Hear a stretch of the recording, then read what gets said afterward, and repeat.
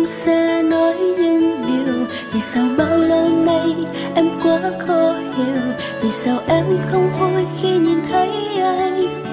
Đang kề vai đi bên ai? Em không vui nhưng có giả vờ rằng em không yêu anh. Nhưng có ai ngờ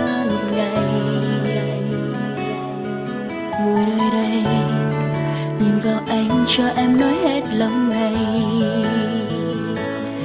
Giá như anh chẳng thuộc về ai, thì tình cảm đôi ta đâu là sai.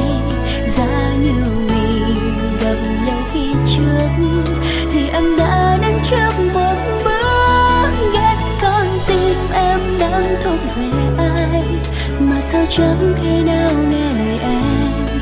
Yêu dại khờ, dù có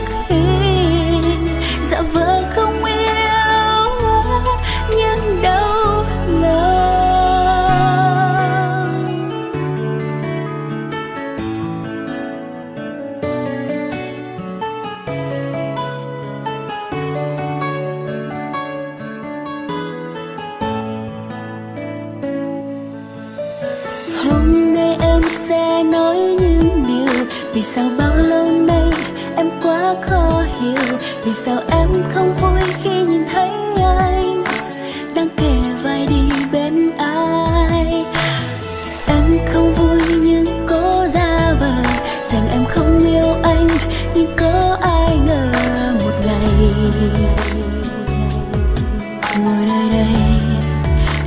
anh cho em nói hết lòng này. Giá như anh chẳng thuộc về ai thì tình cảm đôi ta đâu là sai.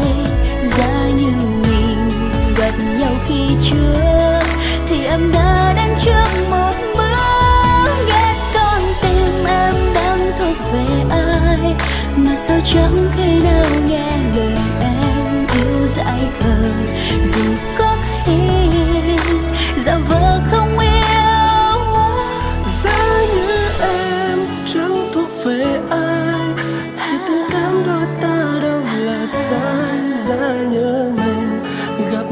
khi trước thì anh đã đến trước một bước. Ghét con tim em đang thuộc về ai, mà sao chẳng khi nào nghe lời em?